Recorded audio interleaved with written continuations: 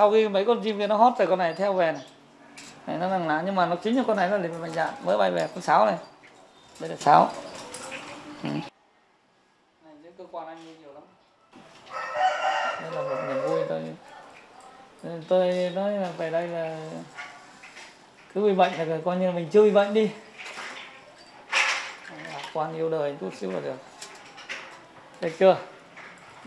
Tôi chim nó có vui hay nên là nó thấy thoải mái cho mình tư tưởng.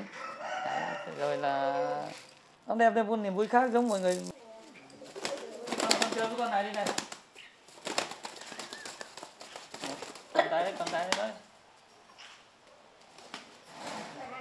Nhiều lúc có nằm mơ, anh Hùng cũng không thể nghĩ mình vẫn có thể trải nghiệm những giây phút hạnh phúc này cùng cậu con trai. Thì, à, mình chiều theo trường rồi để đấy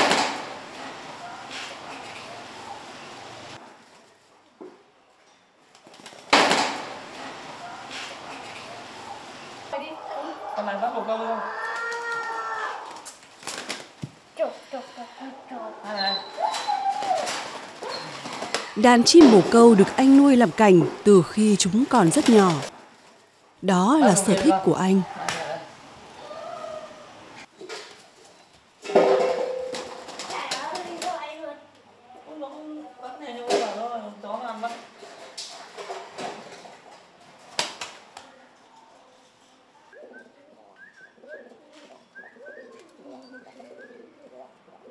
Đã có thời gian, anh không thể tự tay chăm sóc chúng vì nỗi lo bệnh tật. Anh cứ nghĩ sẽ chẳng lúc nào còn cơ hội được chăm sóc đàn chim bồ câu và những chùm lan trước hiên nhà. này con này con mái.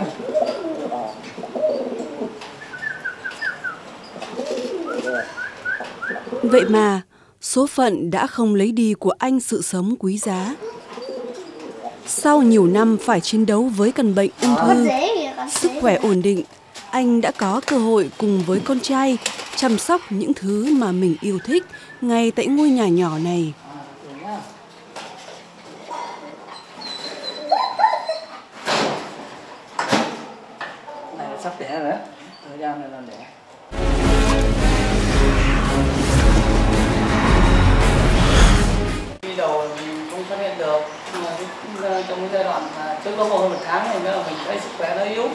Trò chuyện với gia đình anh Hùng, chị Thủy trong một ngày nắng cuối tuần của tháng 6, chúng tôi mới có cơ hội được lắng nghe hết những chia sẻ, cảm nhận tinh thần và nghị lực của anh chị trong cuộc chiến với căn bệnh quái ác. điều trị một ngày đó là nó sốt sốt thì vào đầu anh đưa cấp cứu lên một phẩy năm thì người ta và Dù năm tháng trôi qua, cuộc sống giờ đã vất vả phần nào, nhưng những ký ức về những ngày phải đối mặt với căn bệnh như vẫn còn in hằn trong tâm trí chị Thủy.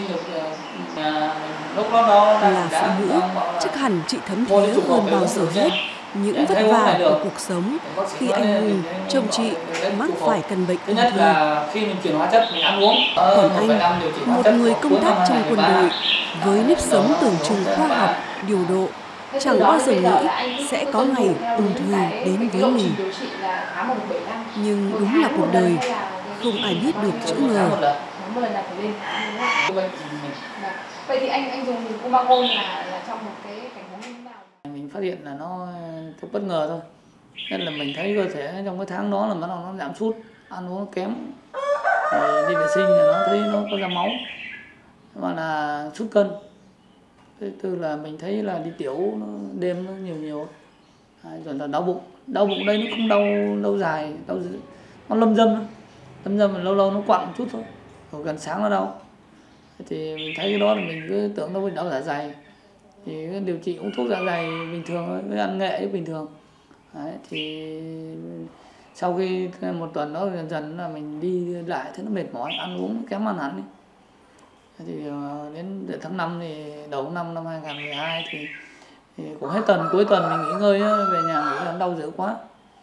Đau dữ thì nằm một ngày thứ bảy ở nhà điều trị vợ nấu cháo cho ăn xong thì thấy nó cũng đỡ sang ngày chủ nhật là bắt đầu nó sốt lên. Đau và nó sốt rồi vào bệnh xá của đơn vị nằm nằm một ngày chủ nhật. Sau bắt đầu là đến đau dữ quá là không chịu được bác sĩ chuyển nước không chịu được thì mới chuyển lên 175 bệnh viện tuyến trên là lên đó là phải 11 giờ 1 giờ chiều của ngày thứ hai hôm sau. Đấy, thì với bác sĩ chẩn đoán là bị vỡ dạ dày.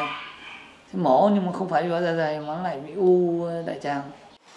Mình thấy mệt mỏi là cầu lâu Nếu sự bất ngờ của anh chỉ là một phần, thì với vợ anh, thông tin anh bị ung thư còn hốt hoảng bội phần. phát hiện là cái u đại tràng. Điều trị một ngày đó là nó sốt Tin anh mắc bệnh vào đúng thời điểm chị vừa sinh em bé thứ hai. lúc đó đang Niềm vui khi chào đón thành viên mới trong gia đình chưa được bao lâu, thì tin anh ngã bệnh khiến chị suy sụp tinh thần. ăn nhẹ uống thuốc bình thường thì cái lúc mà sinh em bé thứ hai xong á cái ngày hôm đó là anh vừa đưa ờ, con đi chích ngừa thì chiều hôm đó về bị sốt em cũng không nghĩ là anh bị một căn bệnh nặng như vậy đâu cứ nghĩ là bị sốt siêu vi cơ. Mang vào trạm xá bác sĩ cùng bảo bảo là bị sốt siêu vi bị cảm thôi tại vì ngày hôm đó là anh trồng cây. À, cuốc rau để trồng cây á về tưới nước dầm nước nhiều á em nghĩ là trời thì nắng tháng năm đấy nắng nóng rồi dầm nước nhiều thì nghĩ là bị sốt rồi em cũng mua hành tăm về nấu cháo lên cho ăn cho giải cảm. Rồi sáng ngày mai thì nó sốt thì mang vào trong bệnh cũng không lúc mà mang trạm xá thì chịu chỉ như là vào nó nằm rồi mai về thôi không có nghĩ là là phải mang đồ đạc rồi ờ, áo quần đi theo rồi dụng cụ rồi đồ dùng cá nhân đi theo để để để để, để cho anh vào bệnh bệnh bệnh xá nằm luôn đâu. Thế đến ngày hôm sau thì bác sĩ bảo là chích thuốc giảm đau nhưng mà nó không thể giảm được nữa mà không đi được nữa rồi chỉ có bò thôi lăn quay vậy đó đau quá chỉ có lăn thôi. Thế là bác sĩ bảo phải chuyển đi gấp xuống bệnh viện thì em ở nhà rất là hốt hoảng.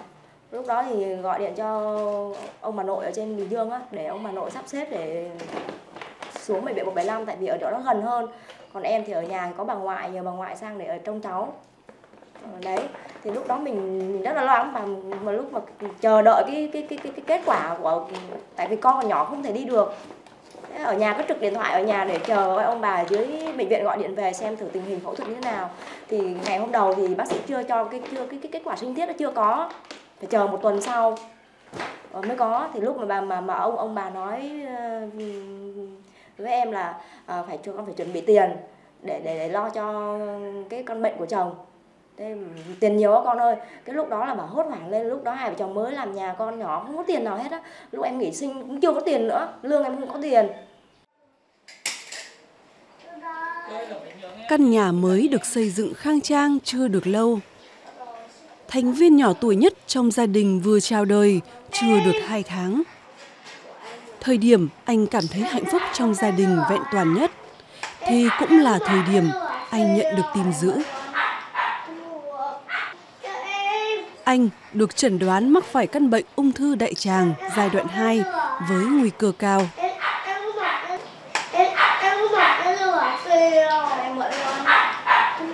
Không thể dừng bước trước thử thách lớn nhất với sức khỏe của chính mình. Anh bắt đầu quá trình điều trị cái này là từ năm ờ, DA 1.53 Khi khối u phát triển quá to, anh đã phải bước vào một phẫu thuật đầu tiên. cái bệnh viện 175 là nó ở đâu nhỉ bệnh viện một năm là ngay được tiêm được Không được suôn sẻ như nhiều bệnh nhân khác, thời gian anh nằm viện điều trị kéo dài tới hàng năm trời. Phẫu thuật tới vài lần, tình trạng sức khỏe mới tạm thời ổn định. thế là cái chị mà ờ, Đã có những lúc tưởng chừng phải bỏ dở công cuộc điều trị vì căn bệnh tái phát nhiều lần và mỗi lần tái phát, quá trình điều trị lại phức tạp hơn. bóng gì? Nó có từ đấy. Anh phát hiện được cái u nó to bắt đầu mang đi bác sĩ phẫu thuật cắt. Cắt thì khoảng 70 phân gì đó xong bắt đầu đưa hậu môn nhân tạo ra ngoài sau khi đưa ra ngoài thì một tháng sau đóng lại thì nó lại bị bị xì ruột ra. Tức là nó không lành luôn cái vết thương nối ruột lại. Nên nằm điều trị hơn một tháng nữa mới lành. Lành thì bắt đầu từ đó là bắt đầu hóa chất điều trị hóa trị. Hóa trị đến năm ờ, 2013 nữa. Cuối năm 12 mổ một lần nữa và 13 bắt đầu mình mổ. Mổ thêm lần nữa thì ờ, có cái u nhỏ cắt cắt lần nữa thì sau khi đó là mình điều trị hóa trị đến bây giờ. Thì nó ờ, các lần đó thì mình đi nội soi và khám thì nó cơ bản là có cái polyp nhỏ ổn định. Cái chỉ số mắc cơ ung thư mà CIA cho phép của mình thì nó đã giảm xuống.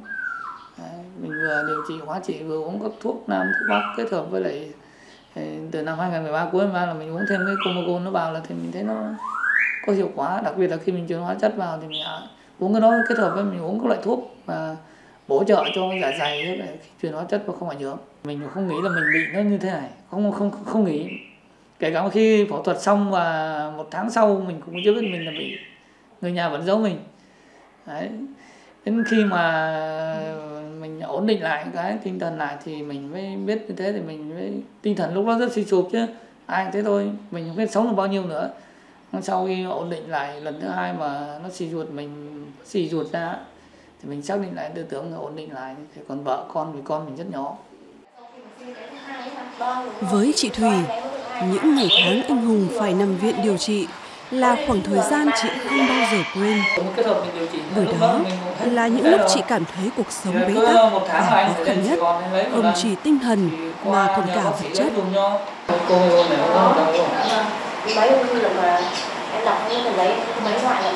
Người phụ nữ trẻ mới ngoài 20 tuổi này nói rằng đó là những ngày tháng khó khăn nhất trong cuộc đời mà chị phải trải qua. Đã có lúc chị tưởng chừng không biết trông cậy vào ai nữa.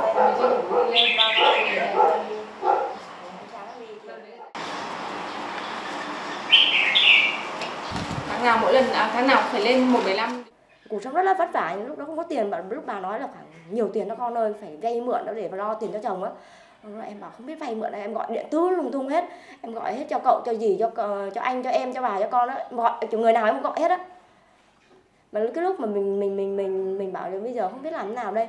Ở cái cái lúc đó mà bao nhiêu tiền của của mình, người ta đến thăm đấy, mình cũng dồn xuống để cho chồng. Thậm chí lúc, cái lúc mà đi ra mua sữa cho con đó tại vì lúc mình xuống thăm chồng á, là bà nhà phải cho con uống sữa ngoài thế em nhớ có cái lần đó.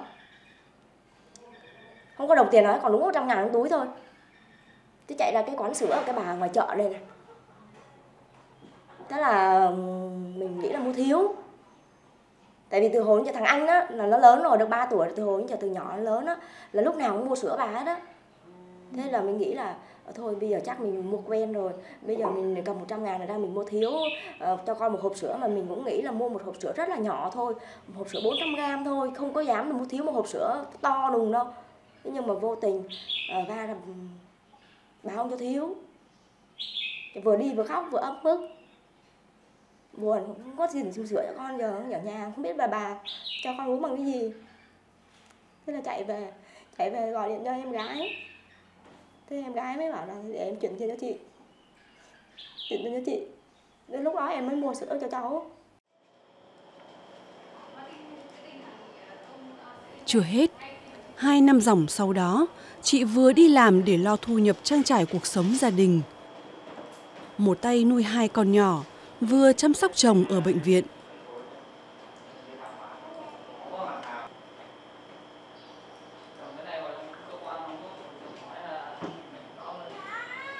Dù không thường xuyên túc trực bên cạnh chồng, nhưng mỗi tuần vài lần chị lại xuống thăm anh. Và lần nào đi, chị cũng mang hy vọng anh sẽ hồi phục trở lại.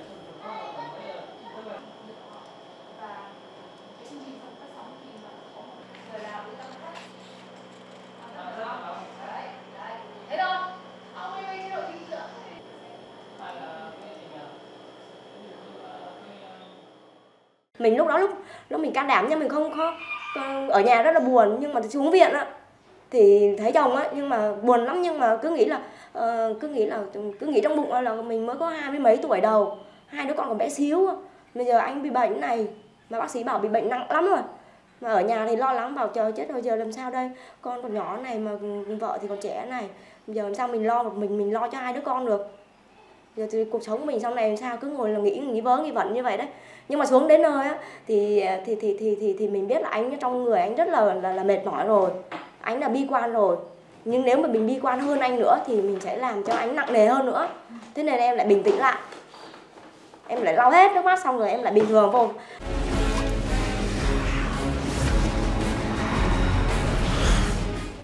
là người con của mảnh đất Triệu Sơn, Thanh Hóa anh vào Nam lập nghiệp, hoạt động trong quân đội đã được hơn chục năm. Anh đã đạt được nhiều thành tích trong quá trình phục vụ lực lượng vũ trang nhân dân, xây dựng quân đội, củng cố an ninh quốc phòng. Với thành tích đó, đơn vị đã tạo điều kiện cho anh khi biết thông tin anh bị bệnh hiểm nghèo và cũng hỗ trợ tối đa cho gia đình anh trong quá trình điều trị. Anh nói với chúng tôi rằng anh tự hào vì có nhiều năm hoạt động trong quân đội. Nơi đó, anh đã có niềm tin, nghị lực và tinh thần chiến thắng căn bệnh ung thư.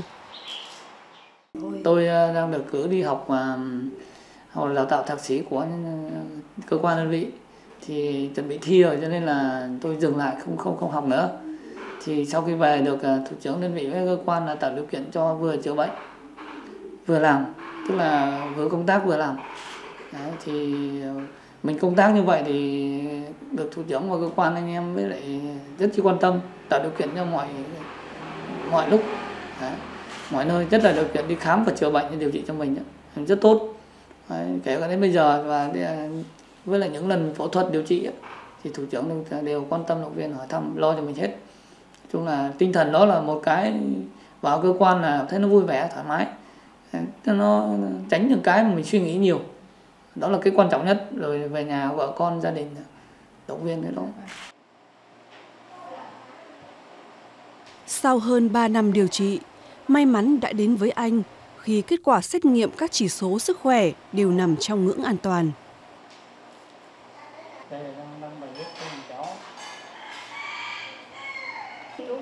Căn bệnh ung thư đại tràng tưởng chừng không thể qua khỏi, giờ đã lui dần.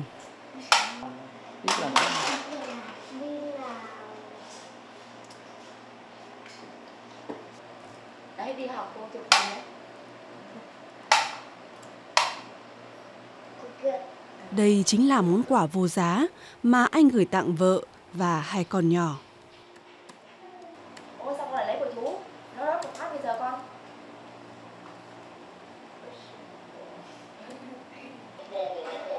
Ngày đầu tiên xuất viện, anh đã đưa vợ con đi chụp bức ảnh có mặt cả gia đình bởi anh sợ sẽ không có cơ hội để cả nhà cùng đứng bên nhau như thế này nữa.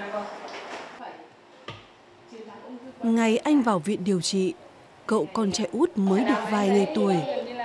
Và khi anh khỏi bệnh trở về nhà, bé đã được hơn 2 tuổi.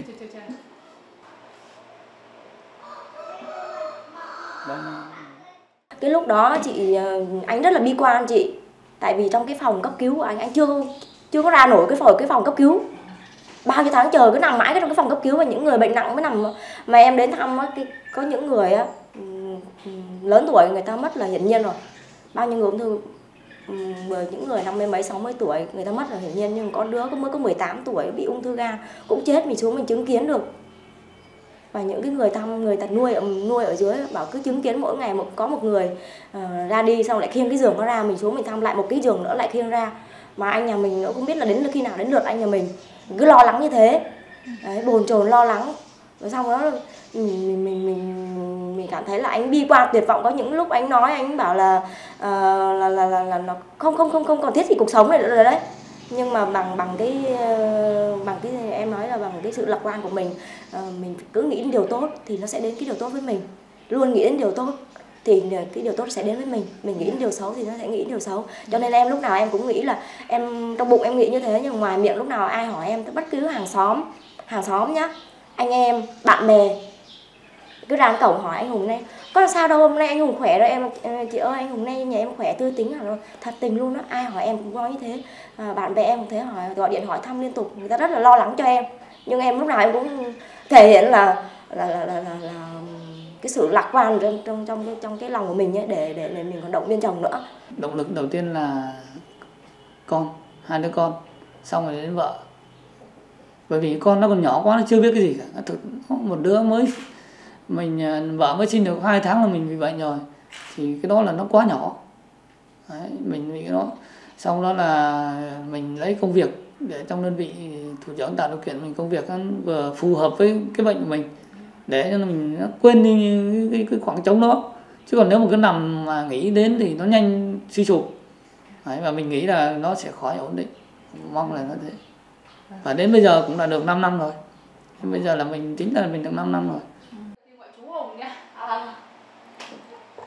Trở về với công việc và cuộc sống gia đình, ngoài tuân thủ đúng lời khuyên của bác sĩ, anh Hùng còn tích cực tham gia luyện tập thể dục thể thao kèm chế độ ăn khoa học và sử dụng các sản phẩm hỗ trợ phục hồi sức khỏe.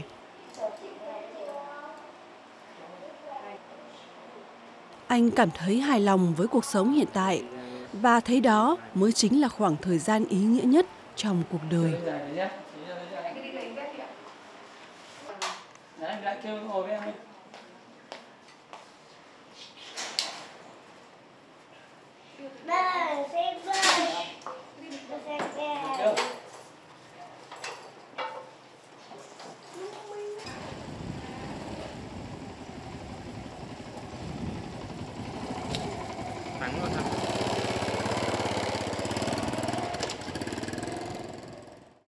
thì thời gian mà đầu tiên ờ, sau khi ổn định sức khỏe thì mình không đi bộ được.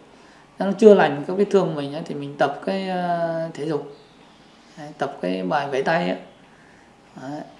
sau đó thời gian là ổn định thì, mình, thì ờ, thức dậy buổi sáng là bốn năm giờ kém là mình vệ sinh nước xong cái là mình đi bộ tập thể dục. Đến khoảng 6 giờ kém mình về. Về xong đó là vệ sinh ăn uống này là uống thuốc. Thuốc xong đó là mình đi làm. Đưa con đi cái đi học rồi đi làm đi làm thì thường thường là xin thủ trưởng về sớm khoảng 10 giờ mình về nhà rồi. Mình uống thuốc cho nó đúng chế độ. Sau khi về xong cái là mình quay ra đến chiều thì mình đi làm về là mình chiều đi làm tiếp chiều làm về mình lại đi tập thể dục. Cái Comagon thì anh điều trị là ở một bệnh viện 175 á. Tôi, tôi bệnh viện 175 bác sĩ Sơn ờ, ờ, với chỉ định ờ, điều trị cho tôi. Thì sau khi bác sĩ Sơn nói là em nên uống cái này nó rất tốt bổ trợ cho em trong cái đường tiêu hóa này. Và thì lúc mình chưa biết gì về cái comegon cả. Hai là khi em hóa trị vào thì ăn vào uống tốt ăn được cơm tiêu hóa được. Và nó cũng có tác dụng là điều trị cho mình cái bệnh ung thư đại tràng của mình. Anh Hùng cũng chia sẻ, để có sức khỏe hồi phục tốt như ngày hôm nay, còn phải kể đến công lao chăm sóc của vợ anh. Nếu không có chị anh không biết cuộc sống những ngày khó khăn nhất ấy sẽ đi đến đâu. Những ngày anh được về nhà cũng là những ngày chị gánh không ít nỗi vất vả. Vừa đi làm, vừa chăm hai con nhỏ và chăm sóc anh. Một tay lo vun vén cả gia đình. Vậy mà người phụ nữ nhỏ bé này chưa khi nào có ý định bỏ cuộc.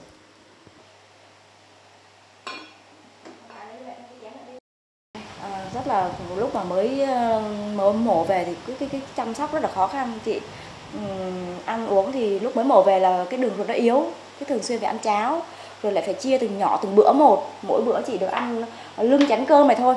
Rồi là ăn đồ ăn đó là phải mềm nấu mềm. Cơm thậm chí cơm cũng phải nấu mềm. Đồ ăn phải nấu nhừ. Thời gian đầu là ăn cháo xong chuyển sang ăn cơm nhão.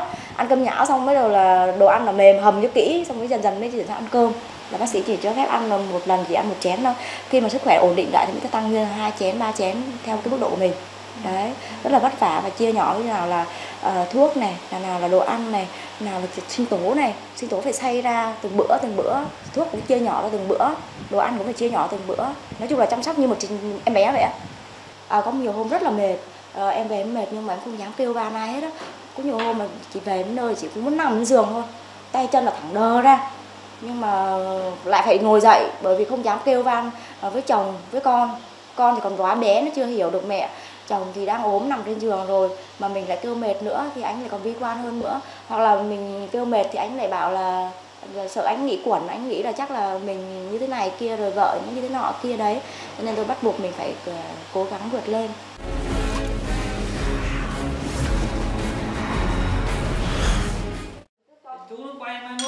Trải qua bao khó khăn khi phải đối mặt với căn bệnh hiểm nghèo. Nhiều mất mát cả về vật chất và tinh thần. Nhưng điều may mắn nhất là anh Hùng đã khỏi bệnh và trở về với gia đình.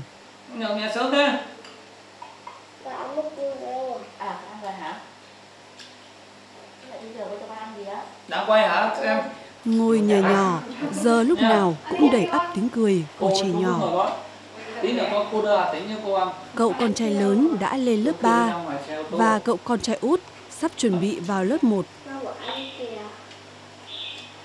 Câu chuyện sau mỗi ngày là những buổi học trên lớp của các con, những bài tập khó, những thành tích mà các con đạt được.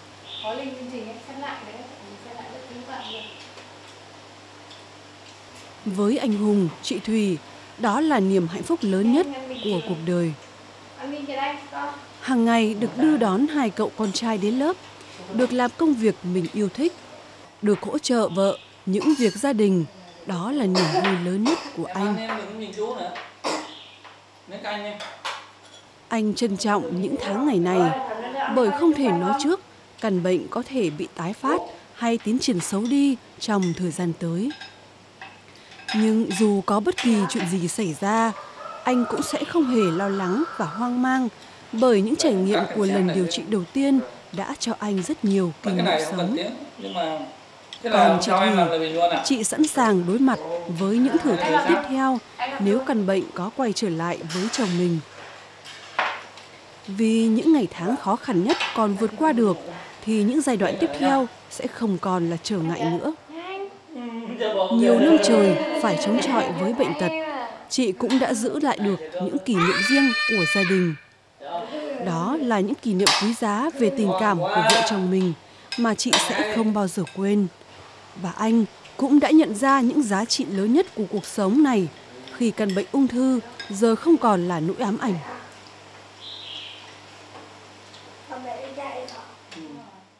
Thấy anh ấy ghi là nhà dặn dò em là em còn trẻ rồi à, sau này phải lo lắng cho con cái những cái gì những điều gì dặn dò em.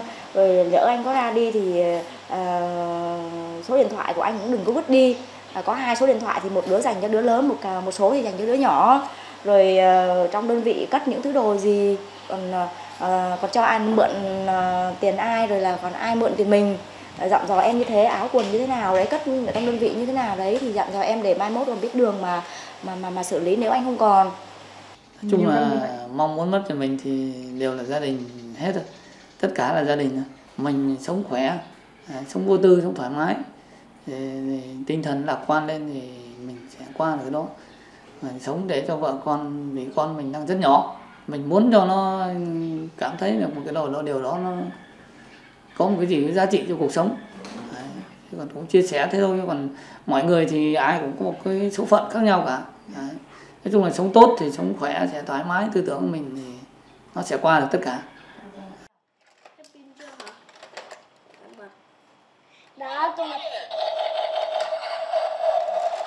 Những lúc rảnh rỗi, anh chị đều tận dụng thời gian ở bên các con.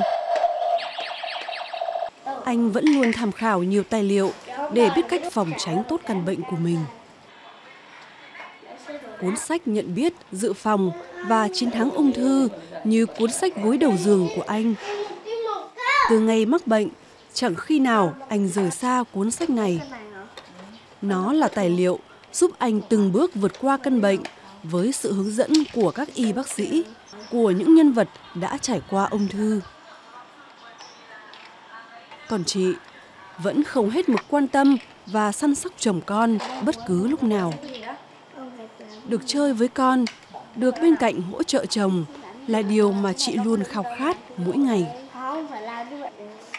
Những đứa trẻ lớn lên được dạy dỗ, lớn lên từ chính những vất vả, khó khăn nhất của cuộc sống mà bố mẹ chúng đã từng trải qua. Anh nói mà Đây là tôm xuống một chút rồi. Anh đã mở Mở nó ra nè.